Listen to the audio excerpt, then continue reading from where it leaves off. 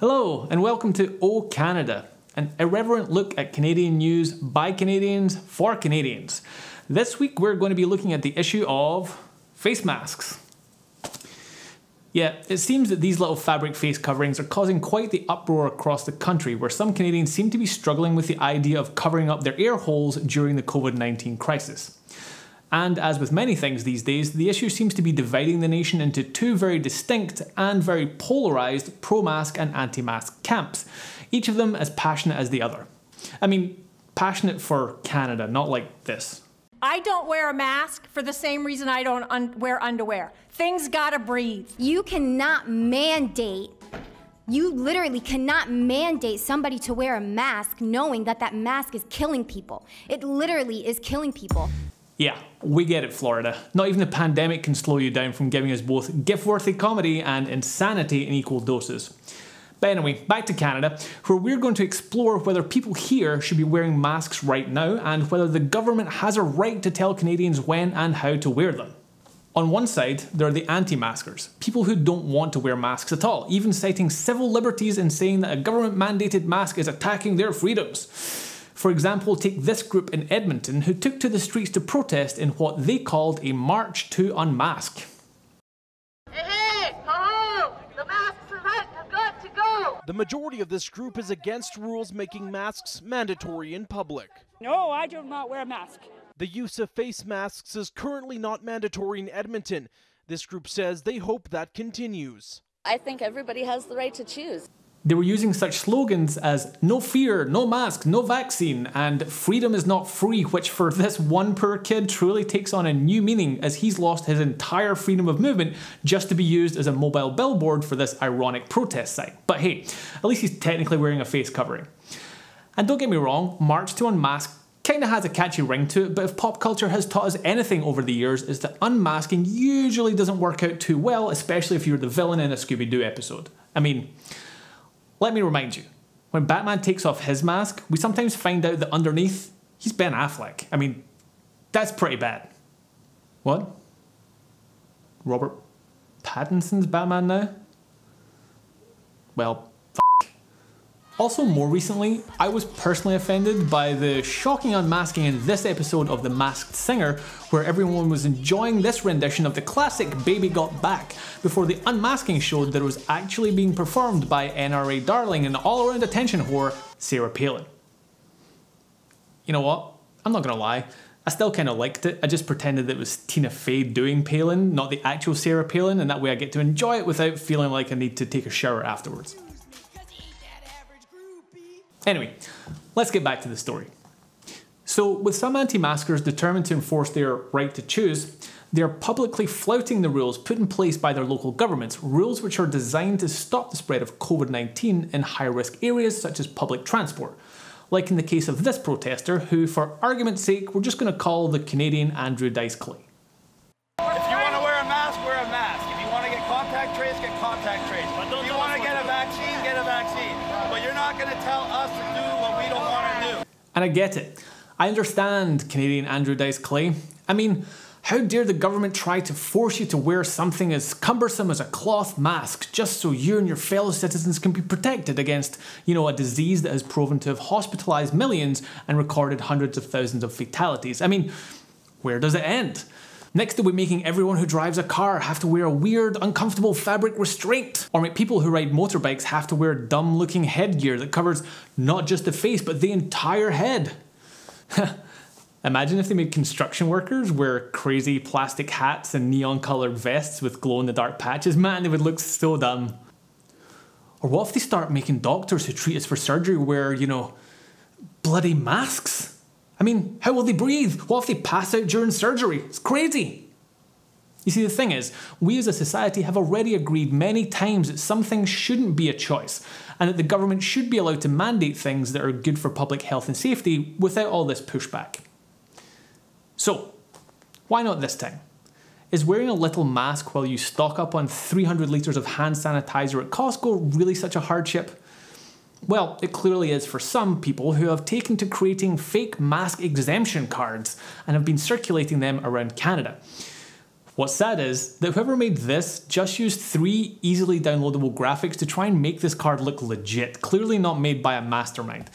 In fact, it's very likely that it was made by the same guy who supplied this fake ID to someone who was applying to a job at an Alberta weed dispensary in 2019.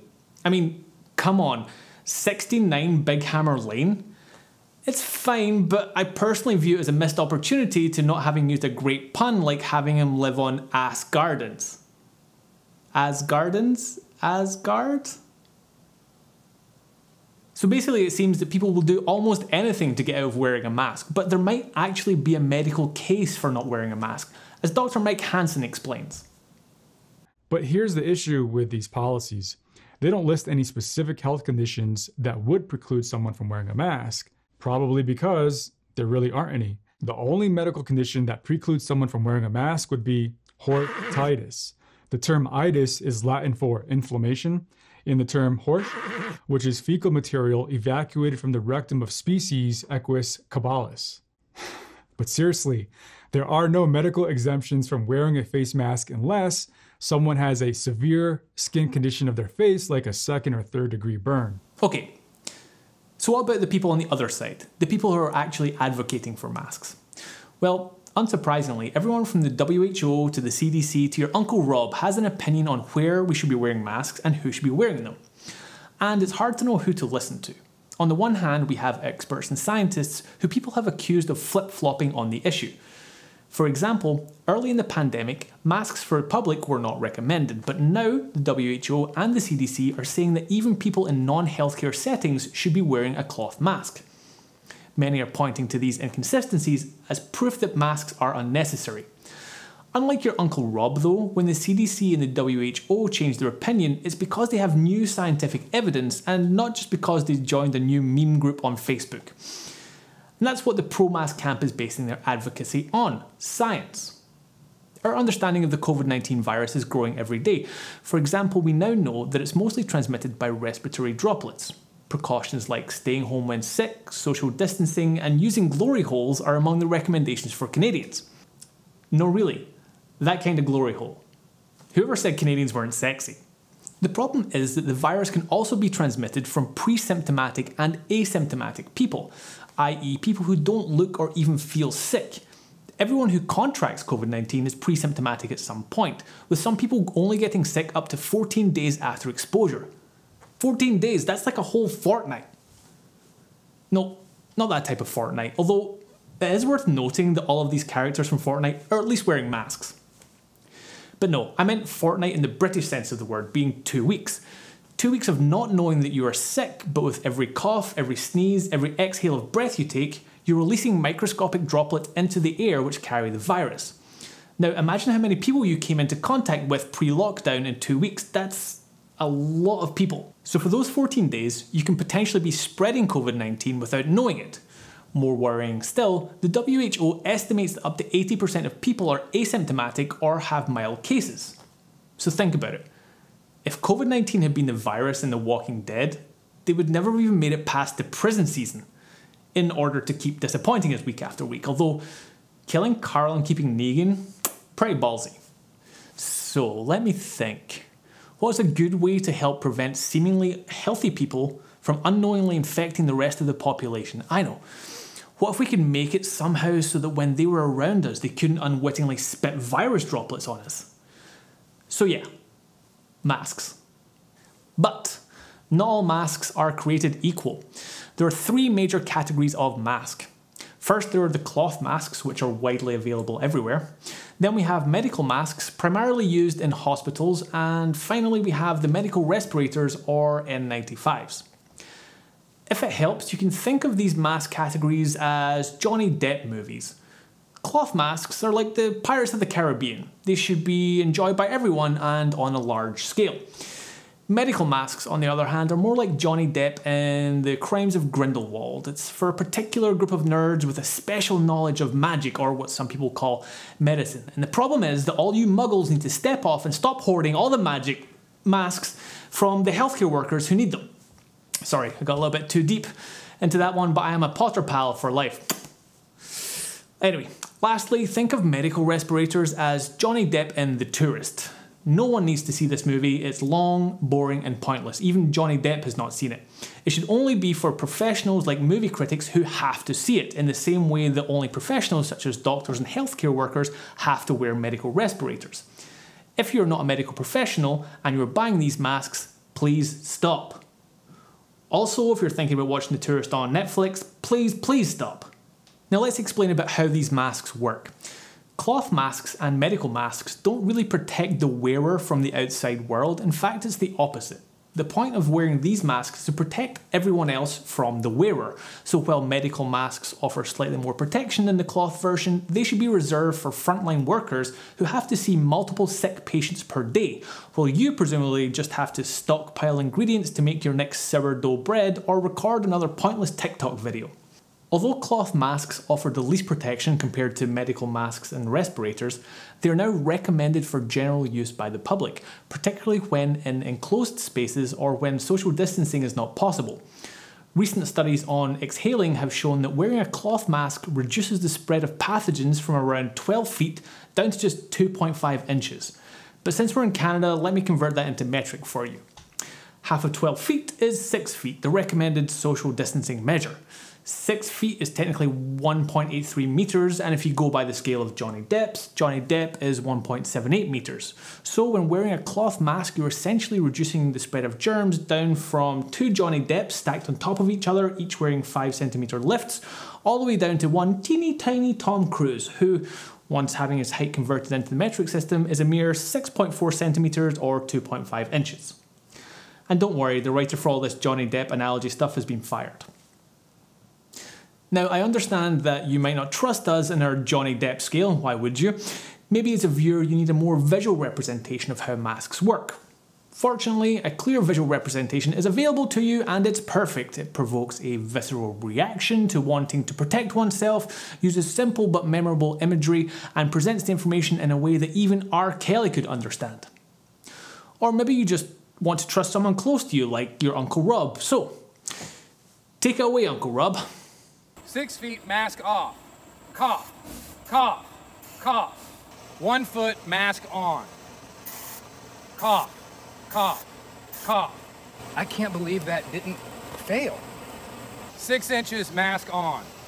Cough, cough, cough. Three inches, mask on. Cough, cough, cough. This video clearly and hilariously demonstrates that masks are incredibly effective in blocking droplets coming from the mouth. But some people are saying that the mask goes a lot further than that. Too far, in fact. Let's take a look at the Canadian website canadianliberty.com. Here they claim that masks have known potential harms such as reducing oxygen intake and the buildup of bacteria and viruses, which is just not true unless you're touching them too much. However, not all of this website was idiotic drivel. I was particularly fond of their tagline Canadian Liberty, wake up, grow up, stand up. Because now I am definitely going to rename my penis Canadian Liberty, and every time I think about Johnny Depp, I'm just going to be thinking, wake up, grow up, stand up. Okay, now they've been fired. The rumour that masks stop oxygen from circulating and carbon dioxide from escaping is being promoted by the same great minds who bring you chemtrails and vaccine conspiracy theories. The only thing I'm surprised that the anti maskers haven't said yet is that the manufacturing of all of these masks has taken vital material away from making the sails for their boat they're going to use to sail to the edge of the flat earth. Some people on the internet have actually demonstrated that masks in fact do not stop oxygen and by some people we mean several doctors. Yes, doctors have taken to social media demonstrating that their levels of oxygen saturation do not decrease while wearing a mask, or even layers of masks. One British doctor even went so far as to run 22 miles while wearing a mask, all while demonstrating that his oxygen saturation levels never dipped below 98%. Oh, yeah, and if you want to complain about wearing masks being too hard and uncomfortable to walk around in, you might want to talk to these guys or these guys. But some people say that in order to trust science, they would need to see some sort of an experiment that proved that masks help contain the disease. So we have two for you. First, let's take a look at three countries Sweden, Austria, and the Czech Republic. All of them in Europe, all of them about the same population size of about 10 million people, and all equally difficult for the average North American high school student to identify on a map. Despite a similar population, similar numbers of different age groups, and a similar climate, all three have vastly different numbers in regards to the pandemic. Sweden is at the top, but for all the wrong reasons. As of this recording, Sweden has just over 80,000 confirmed COVID 19 cases, with just under 6,000 fatalities. Austria has just over 21,000 cases and a little over 700 fatalities. But the Czech Republic, on the other hand, has just over 17,000 cases with under 400 fatalities. What happened? How could the numbers be so different? These countries serve as an illustration of how the policies of individual governments make all the difference.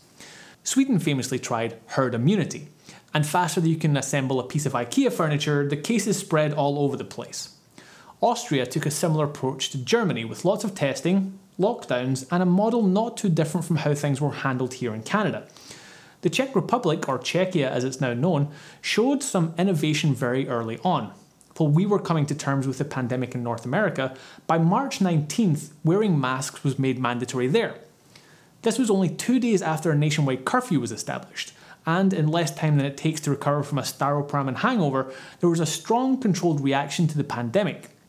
Unlike other countries, during the curfew, people were allowed to still frequent parks and visit relatives, as long as other aspects of the curfew were respected. The people of Czechia were told to wear masks, socially distance themselves, but were still allowed to go out within some set guidelines. And in the process, the Czechs presented us with one of the most impressive and memorable models coming out of Europe, which shouldn't surprise us since previous Czech models have included Petra Němcová and Eva Herzegovina. And yeah, I had to look up those photos on the internet, and it's one of the few times I can actually say that I was looking at this type of thing and it was actually for research. At least that's what I told my girlfriend. Our second experiment comes in the form of two different salons. The first is a salon in Missouri, where two COVID 19 positive stylists served 139 clients over a period of a week, during which both the clients and the stylist were wearing either cloth or surgical masks, and zero clients were infected. Yeah, zero. By comparison, in Kingston, Ontario, there was a COVID outbreak at a nail salon that resulted in 27 cases. This outcome was largely blamed on some clients refusing to wear masks and lack of social distancing. So, congratulations, Kingston. Scientifically speaking, you're behind a state in the US that actually has a law on its books that says anyone can castrate a rampaging bull after three days. The worst thing we can say about masks is that, yeah, they're uncomfortable and hot and damp, but you know what else is uncomfortable? Death. Or even worse, attending a funeral because you didn't wear a mask and gave COVID to your cousin Barb, who died. And the funeral home has a strict mask wearing policy, and it's a nice day out, so you could have been at the beach, but no, you couldn't wear a mask for 10 bloody minutes while giving Barb a ride to Shoppers Drug Mart, and now you have to spend all afternoon at a funeral in a mask. And as the pee pants analogy and Uncle Rob demonstrated, wearing a mask doesn't protect you, it protects others from you. I wear my mask not to protect myself, but to protect you. So, to all those people complaining about their civil liberties being infringed upon and refusing to wear masks, you're actually infringing on everyone else's right to safety.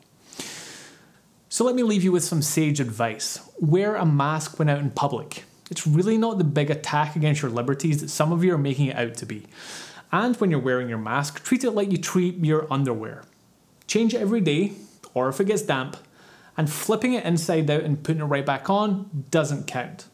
And when it comes to masks, never go commando, even if you're wearing a kilt.